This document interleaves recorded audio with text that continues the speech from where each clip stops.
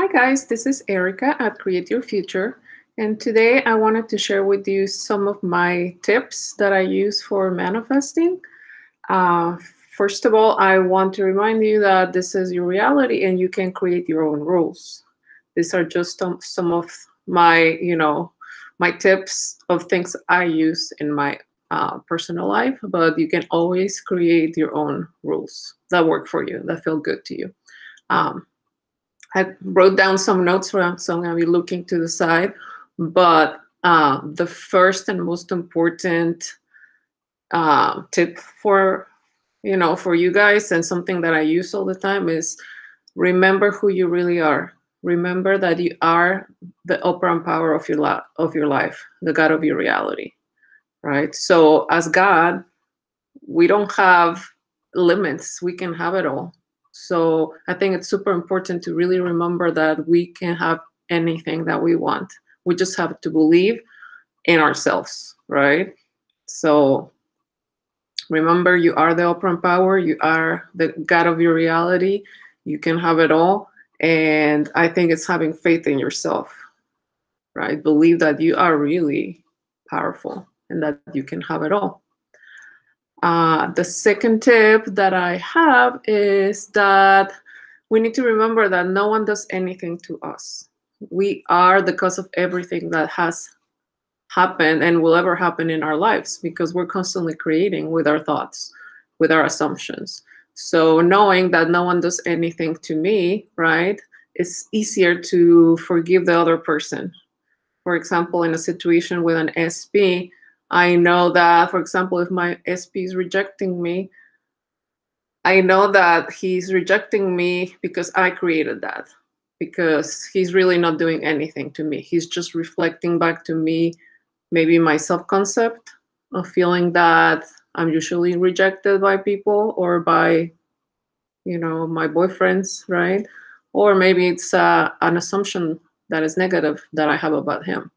So I think it's super important to remember that no one is doing anything to us, right? To get out of that victim mode, and um, and know that we can change that situation around, right? So instead of oh, like he's rejecting me, why why is he always rejecting me, right? And being in question mode, get out of that and say, okay, well, if he's rejecting me, I'm causing it somehow. So the first thing that I do, for example, in when someone is rejecting you is okay check your self concept right? And start affirming from now on i am someone that is chosen. And regarding my sp instead of him rejecting me from now on my sp is always choosing me. He's always prioritizing me. Um, i'm talking about something super important as well. Leave the past in the past right? Um, the, the power is in the now moment and the past is gone. So only analyze that past and see, okay, well, if in the past I've manifested rejection from this person or other people, then from now on, right? From now on, that powerful now moment, from now on, I am someone that is always chosen, and my SP is someone that is always choosing me and prioritizing me. Um, and once again with you know no one does anything to me it's part of you know everyone is you pushed out right? Um, another thing that i really use and has really helped me to stay on my mental diet is to to really believe that my sp is thinking what i say he's thinking. And you know knowing that he's whatever i think about him he's gonna think, right? Then I, I catch myself and I'm like, okay, I'm, I'm not gonna think, for example, going to that rejection story again. I'm not gonna think, I'm not gonna think that he's rejecting me because I don't want him to think that, right? Because he's always thinking what I say he's thinking. So instead of thinking he's rejecting me, I have to change it. And I have to say, no, like my SP is always choosing me. My SP is always prioritizing me because he's thinking what I say he's thinking, right? I feel empowered and I also canceled that old story that is negative, knowing that he's always listening.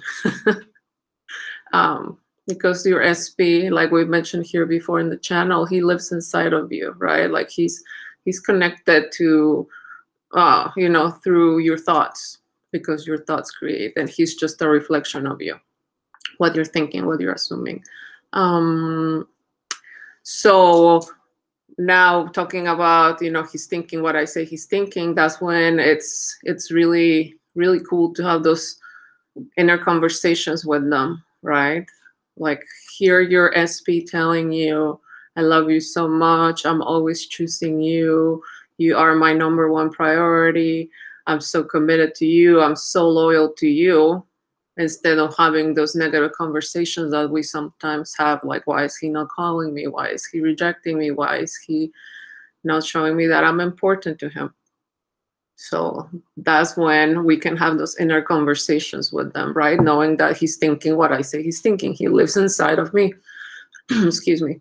Um, something else that also helps me is i see manifesting as a game for example, for me to manifest a certain thing, I have to follow the rules for me to win the game. Um, some of those rules are only think about what you want. Only think about your SP in the way that you want him to show up for you or you want her to show up for you, right? For example, with the rejection story, um, I know that if I catch myself thinking, oh, like he's rejecting me, I have to uh, remind myself, no, like in order for me to win the game and for him to start showing me that he's choosing me, I have to only think about him and the way that I want him to show up, which is he chooses me, right? So I need to stay within the rules of my game. Only think positive, only think about what do you want. And I don't know why, but I think of this game, Operation Game, you know, like where like there's this human shape and you're supposed to put the organs inside of the, the human shape. And if you hit the edges, it goes eh, and makes like a buzzing sound. That's what I imagine. So if I notice that I'm having a negative thought, I'm like, eh, cancel. No, that's not what I want. Think about your person in the way that you want him to show up, right? Oh, my SP loves me. My SP is always choosing me. My SP is always prioritizing me instead of me. Oh, he's rejecting me, right? So I cancel it. I hear the uh, the buzzing sound, and then I go back to the rules of the game, which is only think about what you want. Focus on the now moment. For you know, in order for you to to get what you want to win the game. um, and what else? Um, something else that also helps me a lot is I notice that uh, we sometimes have this bully right inside of us uh, telling us all the time like oh like he doesn't like you. He's rejecting you. You're so stupid. You're so ugly. You're so this. You're so that. We're like bullies to ourselves.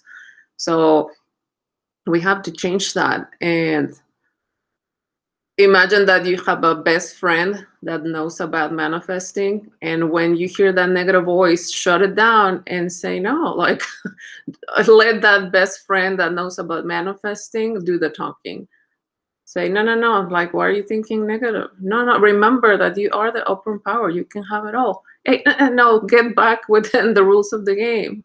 Only think about what you want right? Or hey remember the power is in the now moment. Leave the past in the past so have that best friend that is telling you you're doing great, you're amazing, you're a goddess, you're you're so powerful, you're perfect, your SP loves you and he adores you, etc. Be that best friend that is there for you instead of being a bully to yourself, right? Which keeps you back on that positive mental diet. Uh, and what else? Also remember that the 3D it's just the old story, right? Because a lot of us, we're humans and we react to the 3D. If we see something that we don't like, we react. And it's okay to react emotionally, but just don't don't react react with your thoughts. So look at the 3D for what it is. The 3D is just a product of the old story. So what I like to do is I analyze that 3D and I say, okay, well, no one's doing anything to me. I'm the cause of everything, right? And if I'm seeing that in the 3D I'm being rejected, then I have to, uh, you know, with with that powerful now moment, I have to change my self concept and also my assumptions about my person, right? So don't react to the 3D because sometimes we get caught up in the 3D. We keep reacting to the 3D and we get stuck in that 3D that we don't like. So we really have to tell a different story that maybe we have never experienced before in order for us to manifest that that 3D, uh, you know, that that story that we never had uh, experienced it in the 3D reality, right? Because if we keep telling the old story that we don't like, we're gonna keep manifesting it. So let's tell a different story.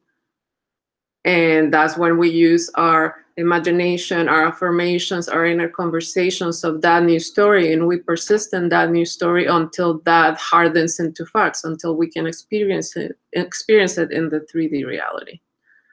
So yeah, I think that's all of my tips or some of them that I use for for manifesting to to help me stay, you know, focused on what I want and not on what I don't want. Uh, I can do a recap. So remember that you're God of your reality. Uh, number two, uh, remember that no one does anything to you because everyone is you pushed out. Um, remember that your SP or whoever it is that you want to manifest, they're just thinking what you say they're thinking, right? And that's when we can have those inner conversations right? Well if i know that he's thinking what i say he's thinking then i have these inner conversations with them that are wonderful. Or i do my affirmations about them that are positive. Um what else? Uh having that bff right? That best friend that knows about manifesting instead of talking down to ourselves being that bully.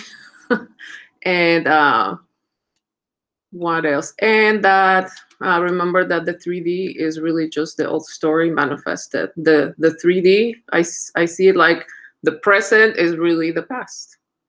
Because I think what's more important and more powerful is whatever you're thinking, right? That 4D, 5D, however you want to call it, in the now moment. And that will eventually project out into the 3D, 3D reality. So make sure that you're you're thinking about what you want to experience in that near um, 3D. Okay. Well, thanks again for listening uh, and please uh, like the video, uh, subscribe and comment. Thank you. Bye-bye.